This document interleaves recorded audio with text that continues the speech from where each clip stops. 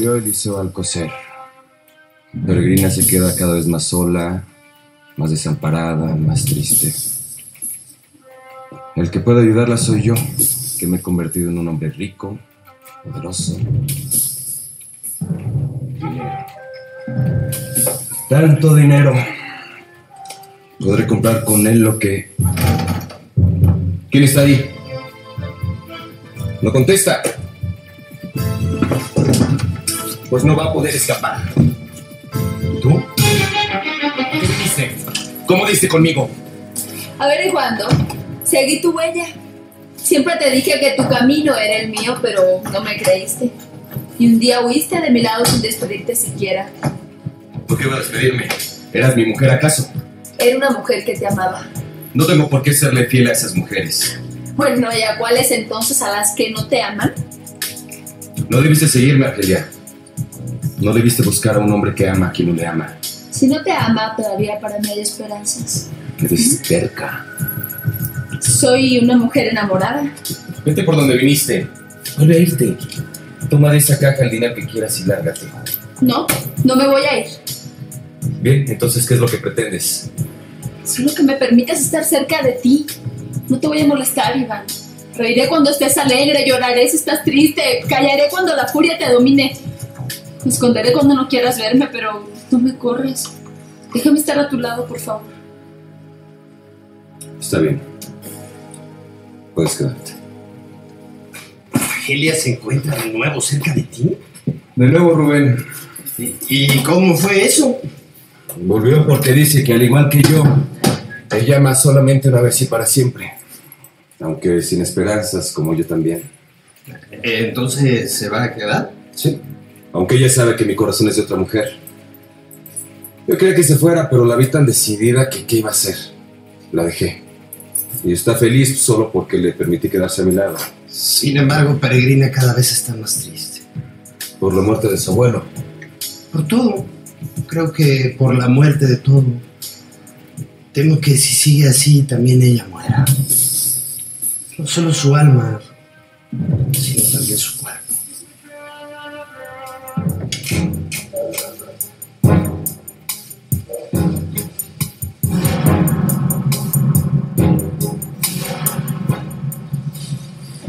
Iván, ¿cómo pudiste entrar? ¿Qué haces aquí? Vengo a llevarte conmigo. ¿Llevarme contigo? ¿A dónde? A mi club. Te daré la suite más bella. Esta es la parte más alta. Tiene varias habitaciones y una es de lujo, digna de ti. Y una terraza grande con muchas plantas, donde por las noches, cuando mires a lo alto, te parecerá que estás cerca del cielo. Gracias, Iván, por todo eso tan maravilloso que me ofreces. Pero yo no puedo aceptarlo. ¿Por qué?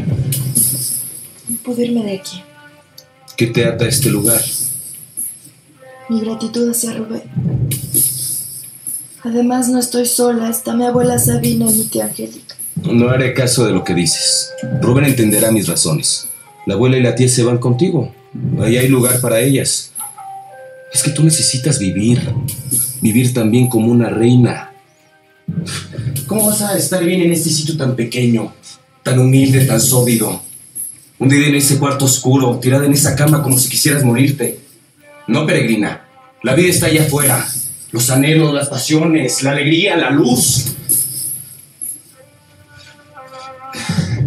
Tú eres demasiado joven y hermosa para decirle no a todo esto, peregrina. Vamos, levántate de esa cama.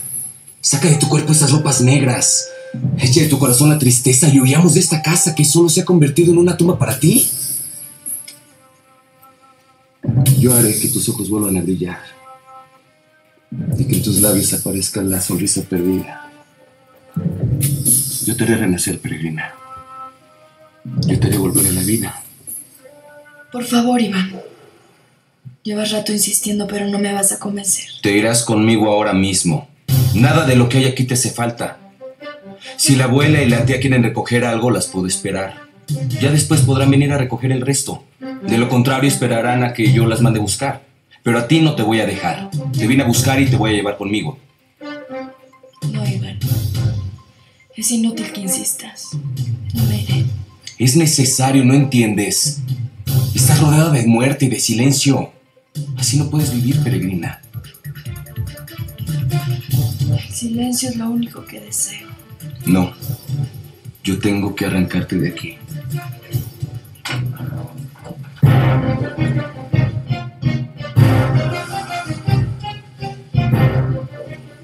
¿Qué haces tú aquí?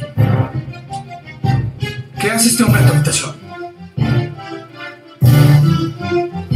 Tú? ¿A qué viniste tú también? A verla a ella. ¿Cómo entraste? Angélica me abrió la puerta. Me rogué que me dejara hablar contigo. Trató de impedírmelo, pero me lo impuse. Ya lo estás viendo. Ella descansa mientras yo le hago compañía. No creo que tenga mucho gusto en recibirte, así que puedes irte. No me voy a ir. Necesito hablar contigo. Yo estoy hablando con ella. Pues termina y lárgate. La rabia te vuelve valiente. Nada más no olvides que bajo mi ropa siempre llevo alguno de mis cuchillos. Iván, por favor. No temas, mi reina. He aprendido mucho de buenos modales y sé que la habitación de una mujer no es escenario para una pelea entre hombres. Tampoco quiero causarte nuevos sobresaltos ni angustias. Ahora hay que cuidarte. Volveremos a hablar sin testigos.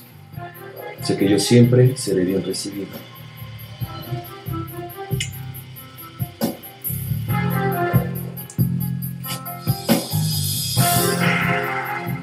Bien, bien. Rubén, te tengo una sorpresa. ¿Y ahora cuál? Voy a traer a Peregrina a vivir aquí. Estás loco. Le voy a dar la suite de lujo para que ahí viva. Ese sí es un hogar digno de ella, y no ese sitio pequeño y miserable donde tú la tienes. Bueno, eso es lo que yo puedo darle y ella lo aceptó con mucho gusto. Yo puedo dar algo mejor, es bueno que lo reconozcas. Tal vez Peregrina no quiera. Tal vez prefiere aquello. A Peregrina no le interesa el lujo ni las riquezas que tú haces tanto a la... Ya no se trata de eso, hay otras cosas. Así, ¿cuáles? Cada uno de los hombres que la amamos ha tenido su oportunidad de hacerla feliz y ninguno lo ha conseguido. Dice que ha sido la fuente de su desdicha del tal Rodolfo Contreras, ni hay que hablar. El licenciado la tuvo bajo su techo y Peregrina salió llena de lágrimas. La tienes bajo tu techo y Peregrina está como enferma de sufrimiento. Ahora me toca a mí atenderla, cuidarla, defenderla. No, Iván, no. No es lo justo, Rubén. Acéptalo. Yo no me puse cuando cada uno de ustedes le ofrecieron su amparo y su apoyo. Pero tú han fracasado. Por eso ahora me toca a mí. ¿Tú crees que puedes disponer de Peregrina así como así? ¿No cuentas con su aprobación? ¿No, no piensas que...?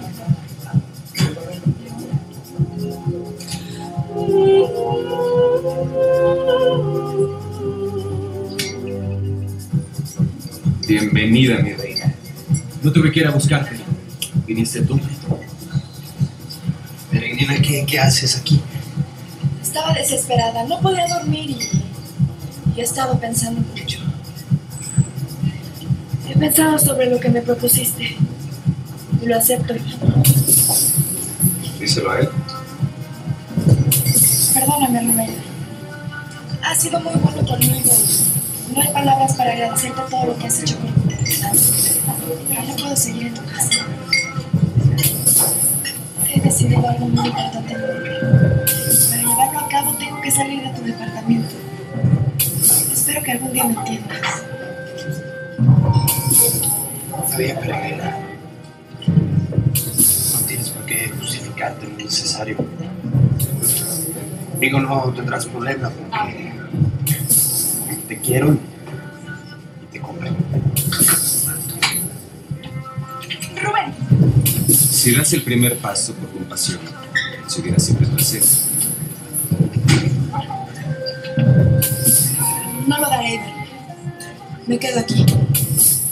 ¿Por qué te decidiste?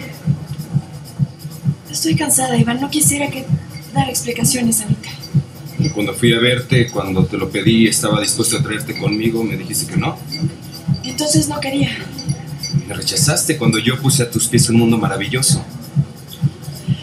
No es ese mundo el que me ha hecho venir. Entonces, ¿qué? Por favor, no me pidas que te explique en este momento. Es que quiero saber por qué te apareces aquí esta noche sola, a estas horas. Te lo diré después. Mañana. Ahora estoy cansada. ¿Influyó la visita de Rodolfo Contreras en este paso que has dado? No solamente influyó, sino que lo decidió. Debería bastarme con que tú estés aquí, pero no. Pilarde, ¿tienes fiebre? Ay, Qué torpe he sido. Ven, ven, ven conmigo.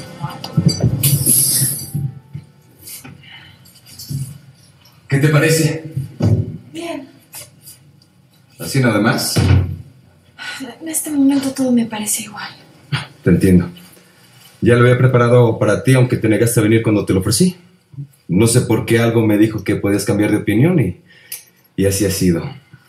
Permíteme que descanse, te lo ruego. Sí, ven conmigo.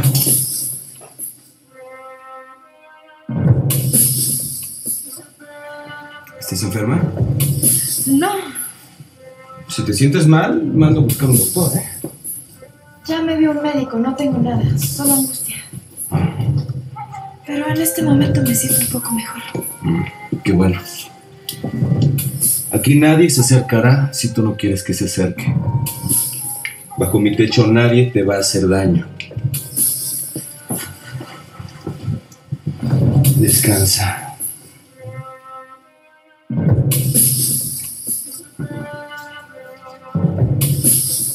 Ya tengo mi joya más preciada conmigo. Te voy a cuidar como a nadie. Duerme, peregrina.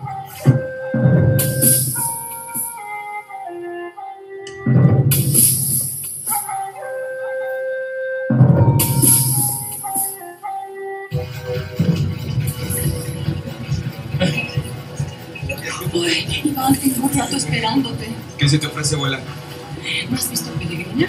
Vino acá, ¿no es cierto? Sí, sí, aquí está. ¿Dónde? Descansando. ¿Pero por qué estás tan asustada? Es que está enferma. Se, la- se salió de la casa sin, sin decir nada y yo me imaginé que había venido para acá porque es que ella me habló de la proposición que le hiciste y que ella había rechazado. ¿En dónde está? Ve. En la mejor suite de este lugar. En una habitación digna de una reina como es ella. Pues yo quiero verla. No, no, no, ahora no se puede saber. Por favor. No te la estoy negando, entiéndelo. Es porque ya está durmiendo y no se me hace conveniente que la despiertes.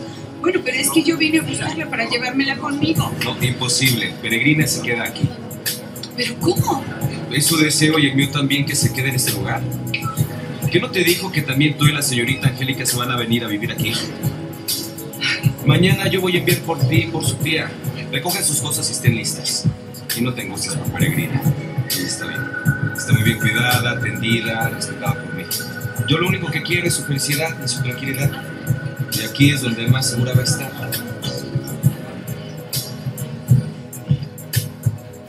Por fortuna ahí viene Iván. Bienvenidas a su nueva casa. Ya las estaba esperando. Me imagino que ya quieren ver a Peregrina. Sí, claro que sí.